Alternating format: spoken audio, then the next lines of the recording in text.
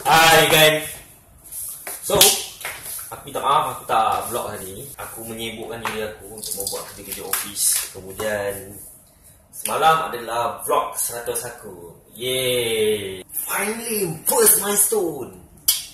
Yeah. Eh, Tak adalah. Ini sebenarnya second milestone. First milestone dulu mas Mine uh, uh, uh, Milestone. Batu loncatan aku adalah pada vlog yang ke-30 Which is aku berjaya buat vlog tu selama sebulan. So uh, semalam episode 100 So I'm very excited to continue this project. Along this 2017 guys. But first Aku nak kena kemas dulu. Yeah.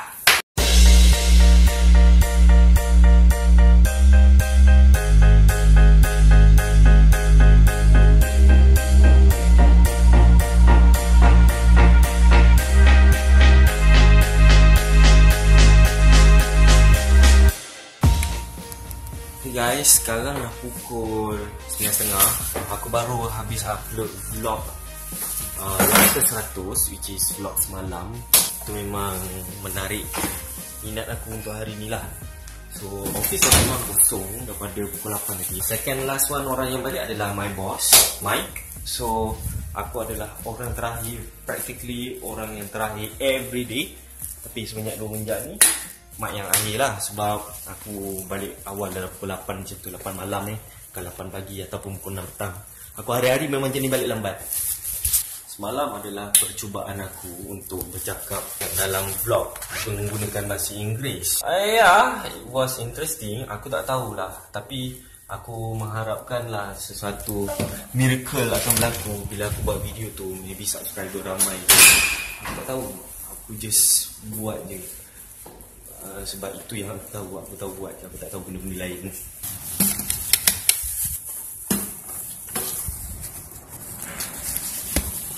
Hari ni agak special sebab aku akan pergi rumah cik dah sekejap lagi. Wife dah dekat sana. Uh, besok pagi wife nak hantar cik dah pergi hospital. Kalau nak mistaken aku pun tak pasti tak ingat malam ni kita orang tidur kat sana. Uh, aku pun pergi sana nak motor. Besok pagi aku pergi kerja daripada sana lah Senang cerita. Aku nak pergi ke tapak motor ni. Ada pula ada orang. Oh tengah nak keluar ke motor tu. Dah lah aku segan blok malam-malam macam ni kan. Silau tu flash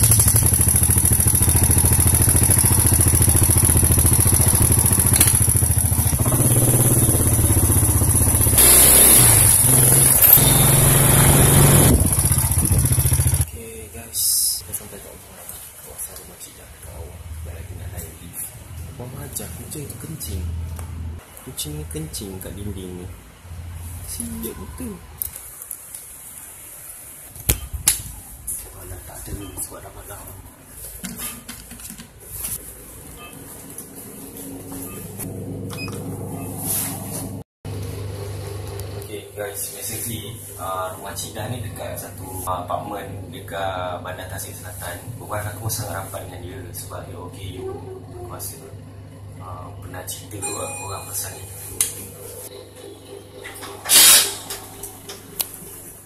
Sudah okey penglihatan dah di rumah. Aku yang sempurna ni pun nak beli rumah terkiak-kiak tidak ada satu rumah. Apa lagi alasan untuk tak pergi aset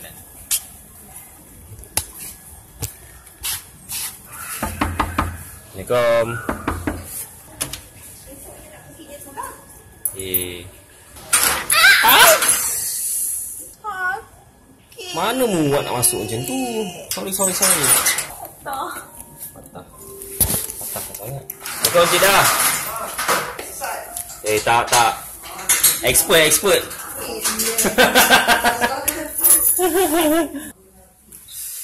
Bila sampai rumah ni, walaupun bukan rumah aku dah jadi, tengok bersihkan diri. Ada satu design aku buat tadi untuk booth. Tahu namanya company tu company baru nak propose dekat Tesco untuk satu buat satu booth. Jadi aku dengan bos aku kena design booth tu. Uh, cara nak design ni kita pulang pada orang budak channel which is yang berurusan dengan landlord dengan dengan Tesco, Maidin semua tu dia orang ada requirement ada elemen yang dikendaki dalam design tu yang perlu ada. Jadi aku dengan bos aku kena fulfill benda tu lah. Senang cerita kan? Another cool story today aku dapat new knowledge which is kalau korang um, buat design yang terlampau high technology yang lebah boom kan tapi in the end kan sebenarnya klien tak suka jadi tak guna tau. So aku ada propose satu design dekat aku one punya AM dia tak suka design tu. Dia minta aku tukar. Design tu nak membuatkan klien berfikir which is klien aku berfikir so dia tak suka benda tu.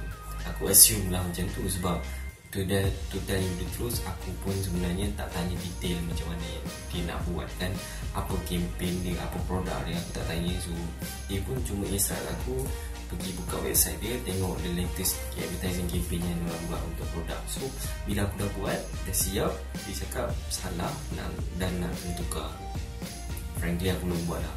Banyak kerja yang nak buat. Apa-apa pun gang aku rasa the best thing for me now is to tahan je lah dengan kerja aku sekarang. Besok aku akan tunjukkan kalau ada masa yang banyak aku akan tunjukkan apa design yang aku buat tadi. So until next time guys see you. Bye